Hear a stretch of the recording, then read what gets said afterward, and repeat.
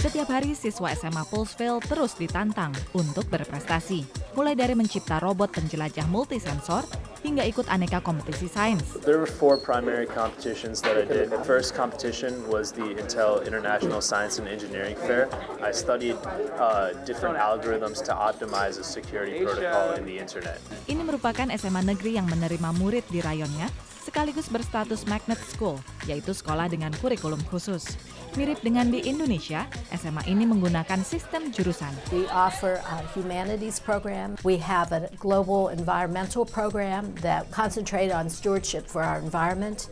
We have an independent studies program, and that program students can take a little bit from any uh, the disciplines that they're interested in. And finally, we have a signature program in advanced engineering. Jurusan Sains, Matematika, dan Ilmu Komputer berisi matematika tingkat lanjut dan kelas-kelas sains tingkat universitas, misalnya fisika kuantum atau termodinamika. We prepare them to be uh, to be critical thinkers, problem solvers, but also focus on a lot of content. Jurusan Courtney, Humaniora, memadukan bahasa Inggris, ilmu sosial, komunikasi, dan seni. Hari ini mereka menggelar presentasi penelitian lapangan. Bisakah siswa merasakan pengalaman seperti di SMA lain di tengah lingkungan yang begitu kompetitif? Um, I certainly study a lot, but I definitely have a social life, especially with throughout my extracurriculars. I've done debate. Um, I've been playing piano since I was five years old, so I definitely have the opportunity and the ability to do things outside of my core academics.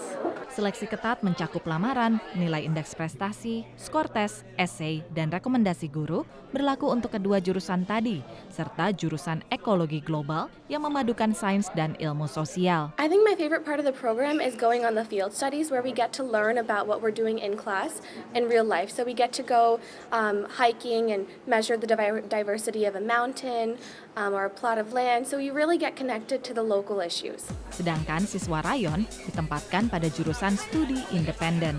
Suasana di dalam dan luar kelas cukup rileks. Saat istirahat, murid bisa makan di mana pun. Kadang mengerjakan tugas kelas berikut. Dengan kurikulum multidisipliner, setiap minat dan bakat ke 1.200 siswa tersalurkan. Harian Washington Post menyebut Paulsville High sebagai sekolah paling menantang di ibu kota. SMA ini juga masuk dalam daftar sekolah terbaik se-Amerika versi majalah Newsweek dan US News and World Report. Dari Paulsville, Maryland, tim VOA.